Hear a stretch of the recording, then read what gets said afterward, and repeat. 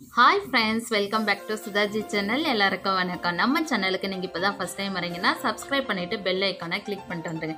இன்றைக்கி என்ன பார்க்க போகிறோங்கன்னா ஒரு ஹெல்த்தியான ரெசிபி தாங்க பார்க்க போகிறேங்க வாங்க பார்க்கலாம். என்னன்னு பார்த்தீங்கன்னா முருங்கைக்கீரை தாங்க. முருங்கைக்கீரை ஆல்ரெடி நான் நிறைய டிஃப்ரெண்ட்டாக போட்டிருக்கேன். இன்றைக்கி பார்த்தீங்கன்னா நான் வந்து வேர்க்கடலை சேர்த்து எப்படி முருங்கைக்கீரை செய்யலாம் அப்படின்னு சொல்லிட்டு தாங்க பார்க்க போகிறேங்க அதுக்கு வந்து முருங்கைக்கீரை வந்து ஒரு கட்டு எடுத்திருக்கேன்.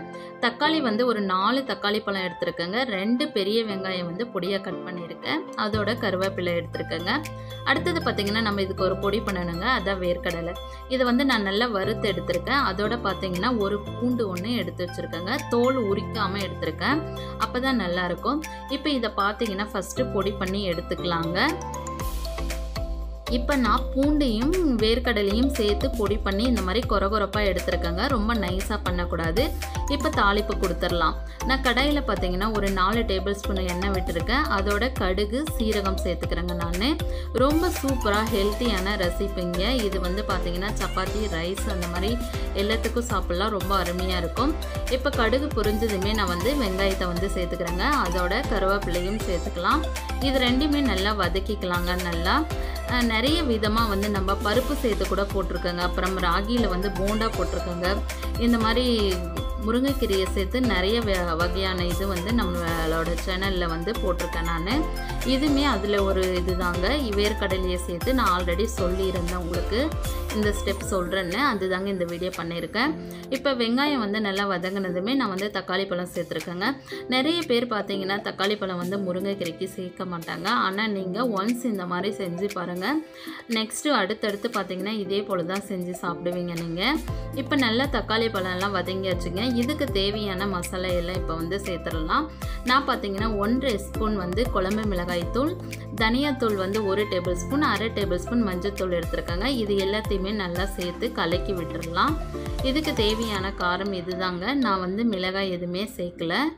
இப்போ வந்து இதோட ராஸ்மல் போகிறதுக்காக கொஞ்சமாக தண்ணி சேர்த்து நம்ம கொஞ்சம் நேரம் கொதிக்க விடலாங்க. இந்த மாதிரி தண்ணி சேர்த்து ரொம்ப அதிகமாக சேர்க்காதீங்க. ரொம்ப அதிகமாக சேர்த்து நிறைய நேரம் குக் பண்ணுங்கன்னா அதோட டெக்ஸ்சர் வந்து மாறிடும். அதனால் வந்து கொஞ்சமாக சேர்த்து அளவாக வந்து இதை நல்லா கொதிக்க விடுங்க. அந்த ராஸ்மல் போகிற அளவுக்கு. இப்போ மூடி வச்சு நான் இதை வந்து ஒரு ரெண்டு நிமிஷம் நல்லா கொதிக்க விட போகிறேங்க இப்போ பார்க்கலாம் வாங்க. பாருங்கள் நல்லா வந்து அதெல்லாம் நல்லா கொதித்து அந்த ராஸ்மல் எல்லாம் போய் நல்லா மேலே ஆயில் இப்போ நாம் வந்து கீரையை வந்து முருங்கைக்கீரையை சேர்த்துக்கலாங்க. ரொம்ப சிம்பிள் ஈஸியாக டக்குன்னு செஞ்சிடலாங்க. ரைஸுக்கெல்லாம் சுட சுட வச்சு சாப்பிடும் போது அவ்வளோ ஒரு டேஸ்ட்டாக இருக்குங்க. குழந்தைங்களுமே ரொம்ப விரும்பி சாப்பிடுவாங்க. ரொம்ப ஹெல்த்தியான ரெசிபி. மிஸ் பண்ணாமல் இந்த மாதிரியும் ஒரு டைம் ட்ரை பண்ணி பாருங்கள் இப்போ நல்லா கீரையை வதக்கி விட்டுடலாம் பாருங்கள் இந்த மாதிரி நல்லா வதங்கி வந்துடுச்சு பாருங்கள் கீரை. இன்னுமே இன்னும் கொஞ்சம் நேரம் பார்த்தீங்கன்னா ஒரு அஞ்சு நிமிஷம் நம்ம இந்த கீரையை அப்படியே வந்து நல்லா வதக்கலாங்க. அப்போ தான் அந்த கீரையில் இருக்கிற அந்த தண்ணி எல்லாமே வந்து நமக்கு நல்லா வெந்து வரும் கீரை.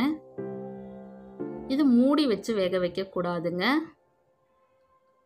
இப்போ பாருங்கள் அஞ்சு நிமிஷம் கழித்து நல்லா அந்த தண்ணி எல்லாமே ஓரளவுக்கு நல்லா ட்ரை ஆகி இருக்குது இப்போ நம்ம வேர்க்கடலை தூள் வந்து பண்ணங்க இல்லைங்களா? அதை வந்து இதில் சேர்த்துக்கலாம்.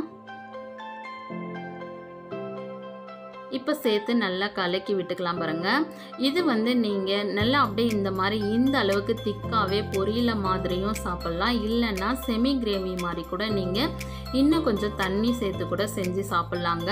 நான் இன்றைக்கி கொஞ்சம் செமி கிரேவியாக தாங்க செய்ய போகிறேங்க உங்களுக்கு பொரியல் மாதிரி வேணும்னா இந்த ஸ்டேஜ்லேயே வந்து நீங்கள் ஆஃப் பண்ணிக்கோங்க.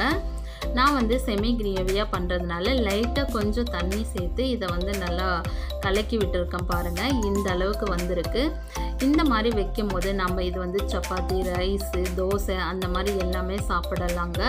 ரொம்ப அருமையாக இருக்குங்க. ரொம்ப செம டேஸ்ட்டில் இருந்துச்சு. நீங்களுமே இதை வந்து ட்ரை பண்ணி பாருங்கள் ட்ரை பண்ணி பார்த்துட்டு உங்களுக்கு எப்படி வந்துச்சு அப்படின்னு சொல்லிட்டு வந்து நம்மளோட கமெண்ட் பாக்ஸில் வந்து கமெண்ட் பண்ணுங்கள் அதோடு போகாமல் இந்த வீடியோ உங்களுக்கு பிடிச்சிருந்துச்சுன்னா நம்மளோட சுதாஜி சேனலுக்கு லைக் பண்ணுங்கள் ஷேர் பண்ணுங்கள் கமெண்ட் பண்ணுங்கள் மறக்காமல் சப்ஸ்கிரைப் பண்ணிக்கிட்டு பெல் ஐக்கானையும் கிளிக் பண்ணிடுங்க அவ்வளோதான் ஃப்ரெண்ட்ஸ் இன்றைக்கி ஒரு அருமையான ரெசிபி செஞ்சு காட்டியிருக்கேன்.